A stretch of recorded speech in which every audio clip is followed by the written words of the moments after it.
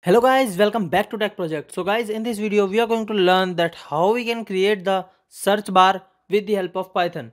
Search bar means I'm going to show you that how our search bar is look like. Here you can see that we have the enter the URL here. I'm going to type welcome, then click on the search tab. Then you will see it opens as a browser here and searching with welcome. So we are going to create this with the help of Python. So without wasting your time, let's start the video.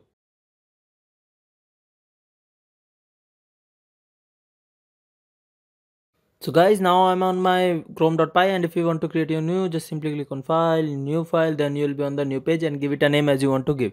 I'm simply going to cancel it and start our coding, importing our first sub library, which is from tkinter import star. Star. And after that i'm going to import our second library import web browser and importing our third from tkinter tk import with its space between them port entry yes. And after this library is installed then uh, we need to create a variable root which is equal to capital T K. This is for the initialization of the library. And after that I'm going to give the title. For that I'm writing root dot title with a bracket. And in the commas we need to give the name of the title. Search tab. And after that just simply create the function for searching. For that i'm going to create def search with bracket enter the url which is equal to entry dot get with bracket. Entry is the variable we are going to create further. Just wait for it. And after that we need to give the web browser dot web browser dot the open url url that's it. Came out from the function. And just simply give the label label label.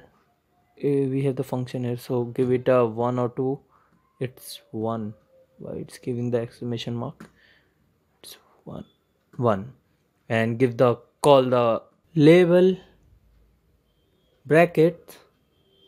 And in the bracket we need to give the root comma the text in the root. So text equals to with commas give the name and uh, the url came out from the commas and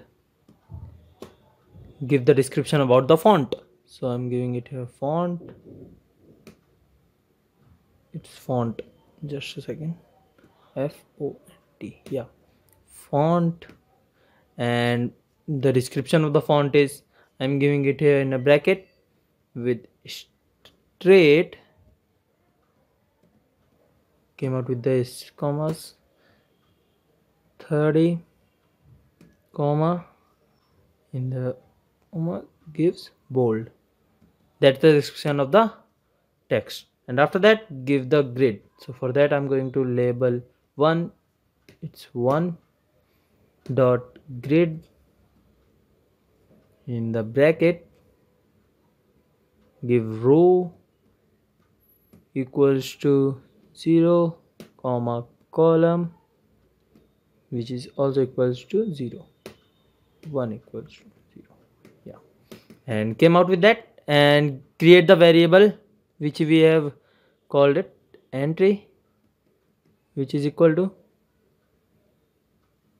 now we need to give the url entered here. So for that i'm giving it a entry bracket root comma the width which is equal to 30 and came out with that entry dot grid with brackets and call row which is equal to 0 comma column which is equal to 1 now just little bit down and creating the search button. For that create variable button which is equal to capital B button. That's the class and create bracket. And in the bracket gives root comma text. Now the text in the button we are giving it here search. Came out with the commas and give command. That our search button will do. Command which is equal to search. And after that we need to give the button dot grid. So for that button dot grid with again bracket row equal to 1 comma column which is equal to 2 with comma.